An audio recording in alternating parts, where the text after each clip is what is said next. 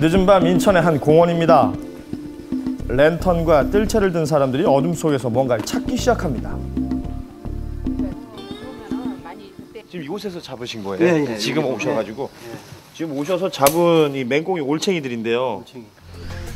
공원 곳곳에 살고 있던 어린 맹꽁이들입니다. 예. 자원봉사자들이 야행성 맹꽁이를 잡아서 서식지를 옮기고 있는 것인데요. 그러던 중 특이한 녀석이 발견됐습니다. 뭔데요? 이렇게 처음에 잡을 땐 몰랐는데 잡고 나서 보니까 다리가 한 개가 더 붙어 있는, 아이고. 있는 거예요. 지난 23일 이 수로에서 발견이 된 것인데요. 바로 이 맹꽁입니다. 한눈에 봐도 뭔가 어색한 어허. 앞다리가 보이죠? 한쪽에 두 개의 다리가 나와 있습니다. 예. 국내에서 이런 기형 맹꽁이가 발견된 것은 처음이라고 하는군요. 기형 맹꽁이가 나타난 원인이 이 공원의 과거 때문이라는 의견이 있습니다. 여기가 이제 70년대까지 지원 미군이 주둔해 있던 미군 부대가 인근에 있고요. 그 이후에 이제 한국 부대가 사용을 했고요. 공원은 20년 넘게 주한미군 기지로 사용이 되었었는데요. 이곳에 맹독성 폐기물이 버려졌다는 의혹이 제기됐고 예. 지난해에야 환경조사가 이루어졌습니다. 공원 일부 지역에선 발암물질인 다이옥신이 기준치의 24배까지 검출되기도 했는데요. 심각하네요. 기형 맹꽁이까지 발견이 되면서 인근 주민들의 불안은 더욱 커져가고 있습니다. 걱정이 되죠. 환경이 그 정도로 되면 사람이 산다는 것도 심각한 문제잖아요. 그럼요. 있을 수도 없지 저런 그 기형이 나오면은 기형 맹꽁이는 정말 오염에 의한 것일까? 다리에서도 기형이 나타나는 경우는 일반적으로 폴루션에 의해서 나타나는 예가 많이 보고가 되어 있습니다. 양서류가 오염에 민감한 환경 지표종이죠. 외국에서도 환경 변화에 의한 기형이 많다고 하는데요. 돌연변이 개체가 나타난다는 뜻은 사람도 그런 환경에 노출되었을 때 이런 경우가 나타날 가능성이 있다는 경고라고 생각하시면 되겠습니다. 무섭네요. 시민들은 공원에 살던 300여 마리의 맹꽁이를 인근의 습지로 옮기고 있습니다.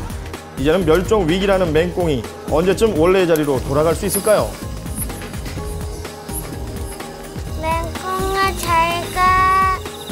기형 맹꽁이가 던진 의혹과 불안 그냥 지나쳐도 되는 것일까? 정확한 환경 조사와 정화 작업이 시급해 보입니다. 예, 대책 마련이 필요하겠네요.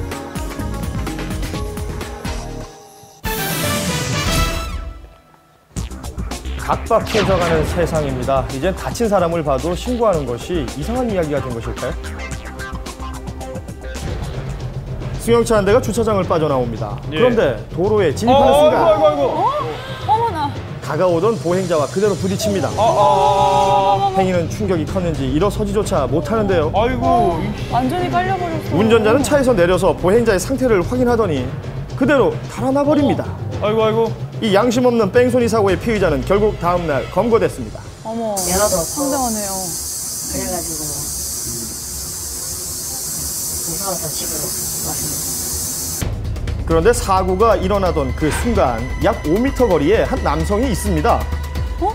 사고가 난 쪽을 쳐다보지만 무심히 휴대전화만 만질 뿐입니다. 심지어 뒤이어 등장한 이 사람 피해자의 바로 옆을 지나가면서도 신경조차 쓰지 않습니다. 허허. 사고를 당했다는 것을 몰랐던 걸까요?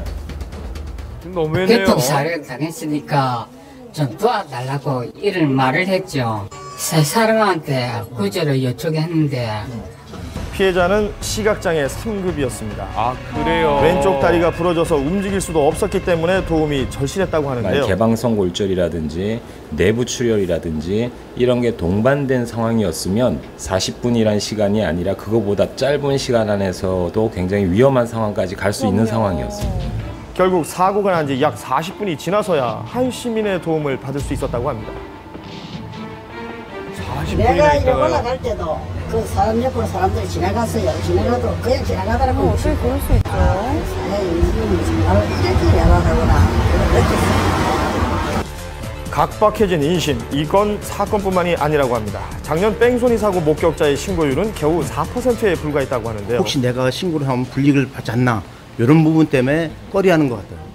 그 현장에서 뭐 진술 진술만 간단하게 듣고 그렇게 하고 필요한 부분이 있을 때 에, 간혹 와서 이제 진술 받을 때는 극히 드물죠.